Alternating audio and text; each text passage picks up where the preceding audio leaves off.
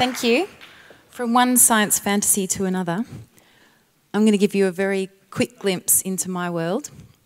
I'm an artist based in Amsterdam, and I grew up as a classical ballerina. And um, in this short space of time, I make cheap things look good.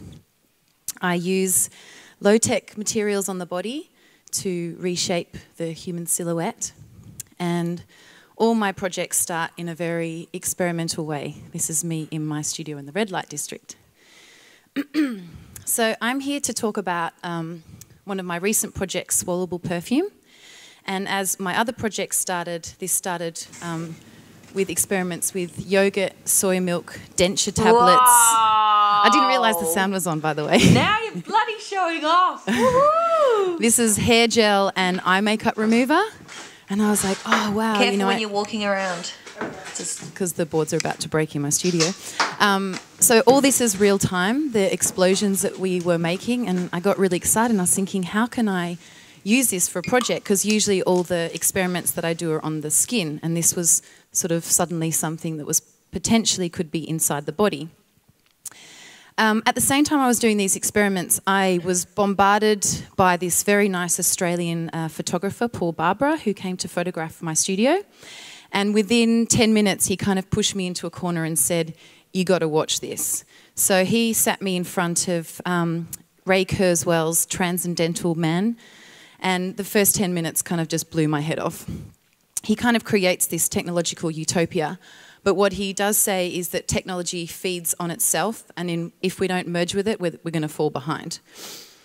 The most interesting thing that um, I found in Ray's documentary was that he was talking about how technology is going to become the size of a blood cell, and that we'll be able to reprogram biology away from disease and away from aging, which is a bit scary. I'm not quite sure how much we can trust this Ray Kurzweil because he has a Alanis Morissette poster sitting in his living room.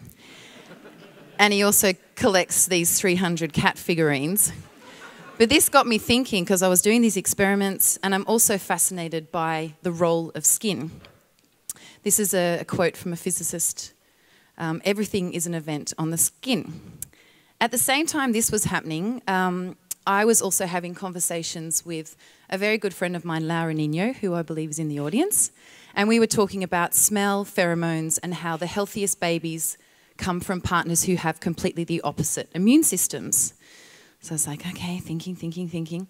I then contacted a mutual friend of mine, Sheref Mansy, who's a synthetic biologist.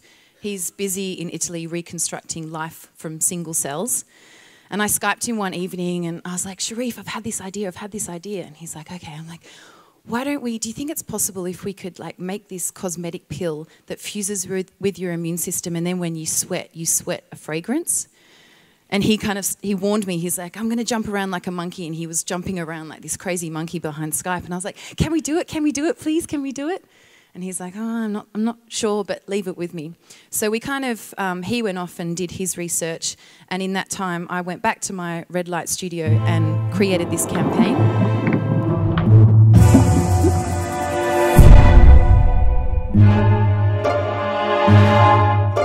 Go beyond accessory.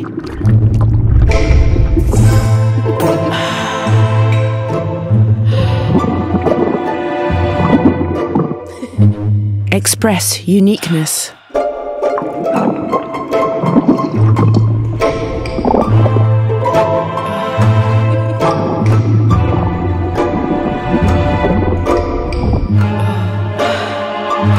Swallowable perfume.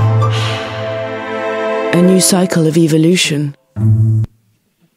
So Sheref came back to me and he's like, hmm, I don't think we can do it with the immune system. And I was like, oh, okay. He's like, but maybe what we can do is create a pill that mimics the structure of normal fat cells found in the body and use the body's enzymes to break down these fat cells to release a fragrance during perspiration. I'm going to finish on a quote. This is a, from the physicist again. A human being is like a rubber ball wrapped in an extremely delicate membrane. As a ballerina and a background in architecture, I'm fascinated with the body. And what I do as an artist is use this rubber ball as a way to crystallize my thinking on biology, technology, beauty, and the body. and create these alternate worlds for these concepts to exist in, and swallowable perfume is one scene from this world. Thank you very much.